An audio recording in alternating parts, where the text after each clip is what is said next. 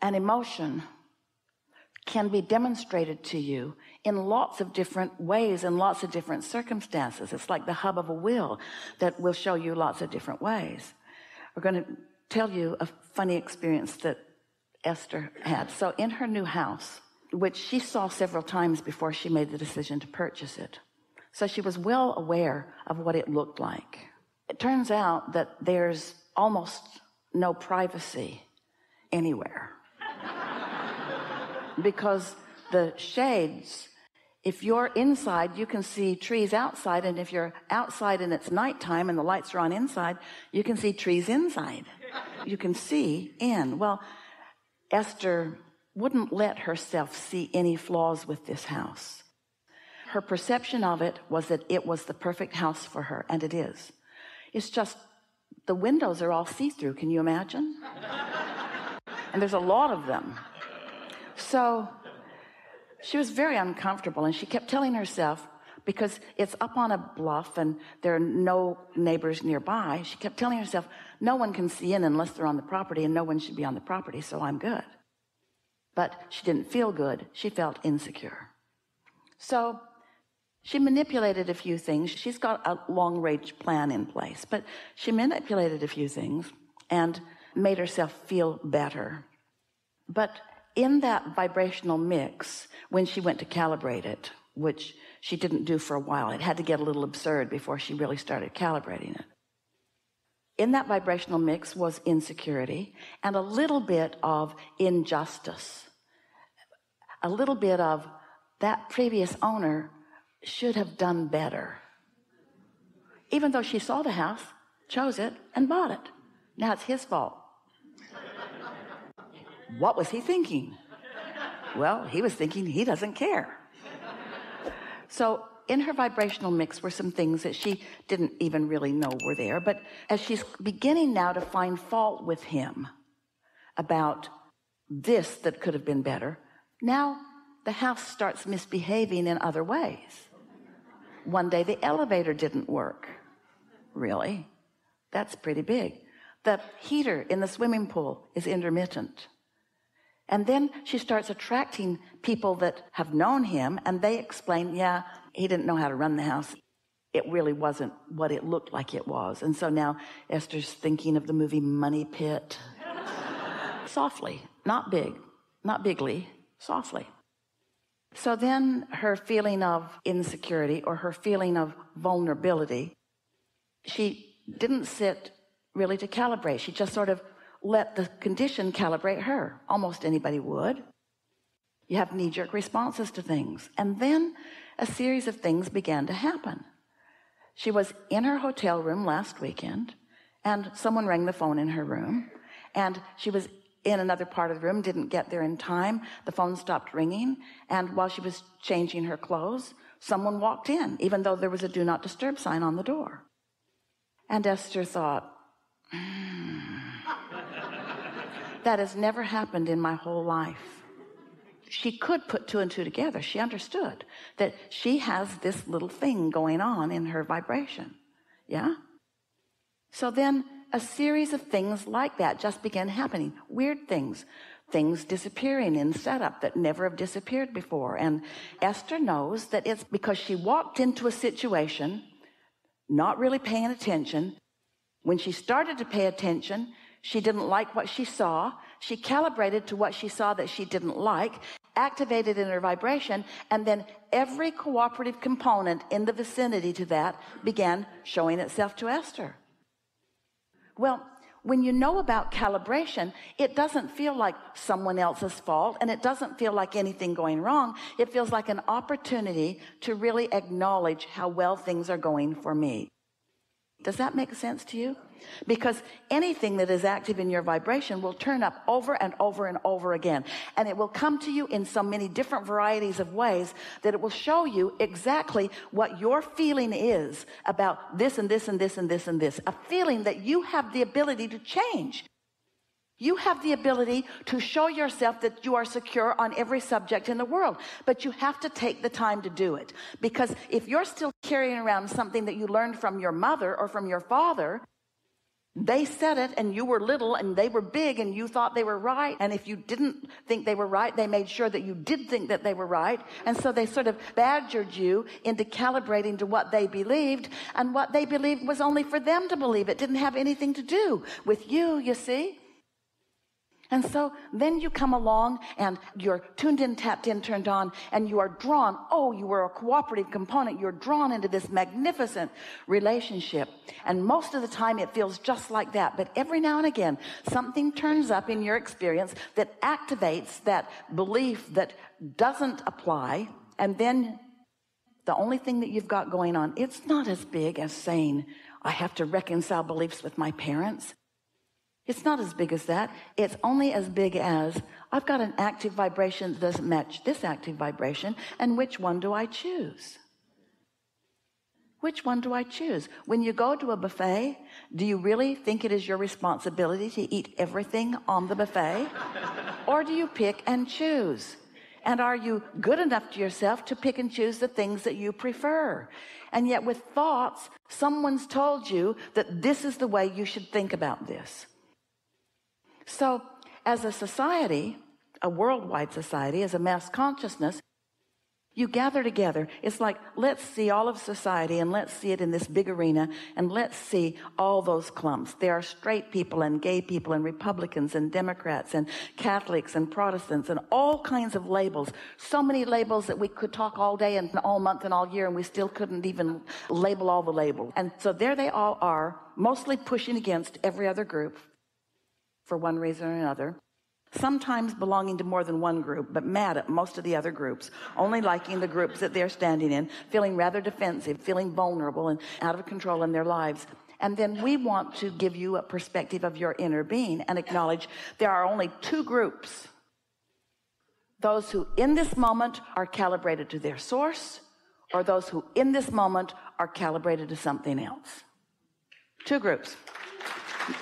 And every single group has some of both in it. Every one of those groups sometimes are calibrated to source and sometimes are calibrated to something else you see.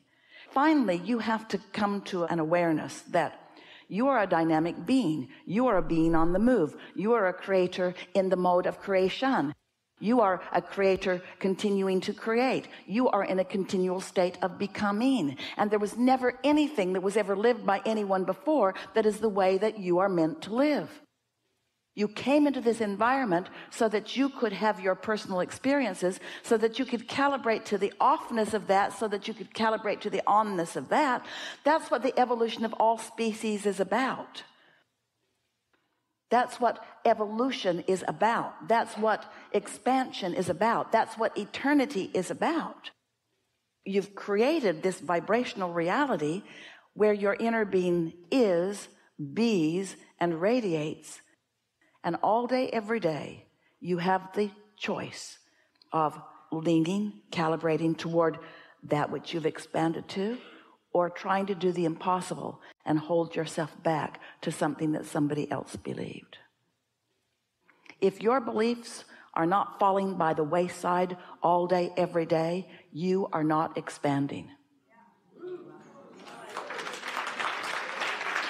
And look at those unwilling to release old beliefs. Look at their misery and their determination and their meanness and their fear. They are so afraid to let go of what they've got, even though it's not working. And you know how we know it's not working. And you know how you could know it's not working. They're miserable.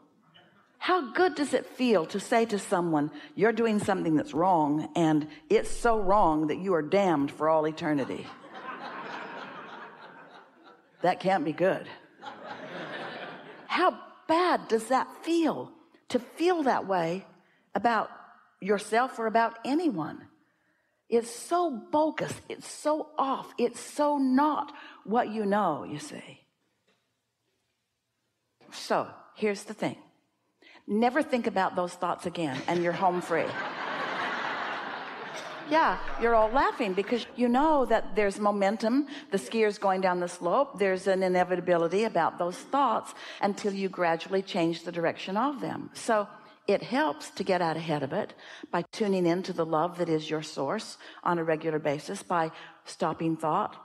When you meditate and focus on something not very exciting, like the sound of a fan or the flickering of a flame or the dripping of a faucet or even counting your own breath, when you focus upon something that doesn't require much thought, you slow your thought way down. And when you do that, you stop thought.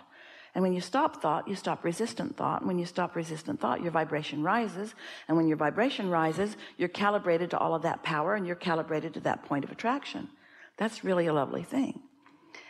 That's what we mean by getting out ahead of it. But when a thought comes to you and you trip over it, big thought, unless you focus on it from your now point of knowing, it remains the same as when it was first offered to you. In other words, you've got stuff going on in your vibration that you don't even know you've got going on in your vibration.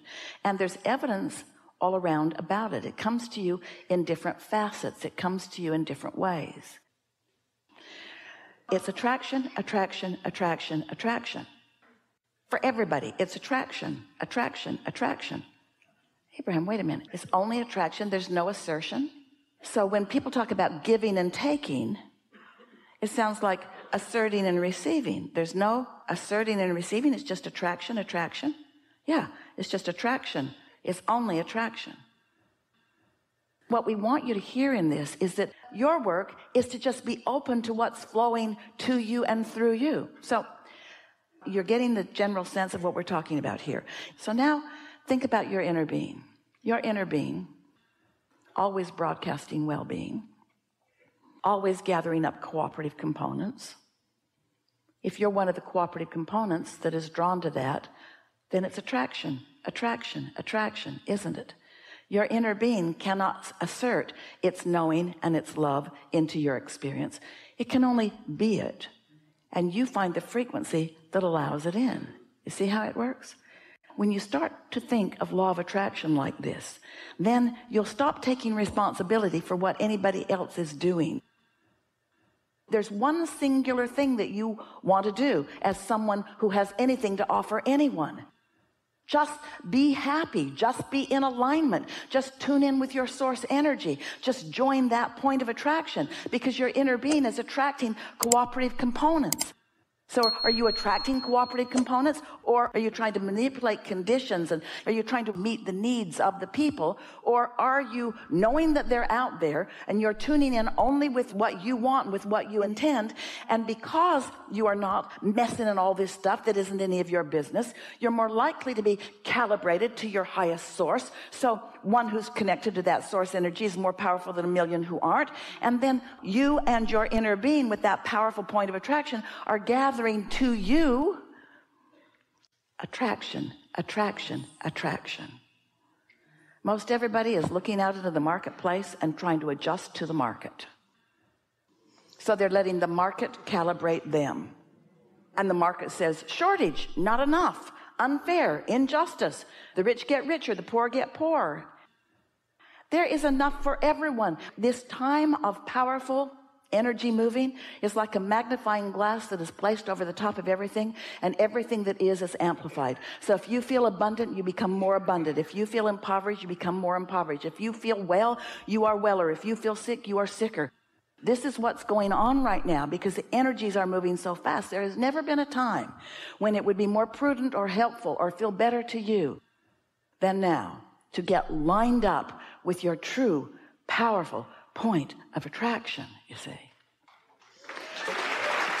You say your prayers as if what you call God could then assert into your experience. And don't you know that that source energy is flooding all of that love and well-being to you all of the time? You don't need to pray for that to happen. You want to calibrate to let it in to let in the blessings that you've already asked for, to let in the blessings that you already deserve, you see. Yeah. Really good.